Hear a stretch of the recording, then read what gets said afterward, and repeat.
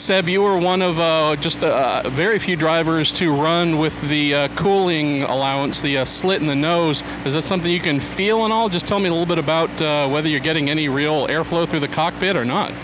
I don't know. It feels like it's 120 degrees with 95% humidity right now, but you know, any little bit of cooling, I'll take it right now. And I think it's going to be a, a, long couple of days, so we just took, uh, you know, a step ahead of the game, trying to make it as bearable as possible.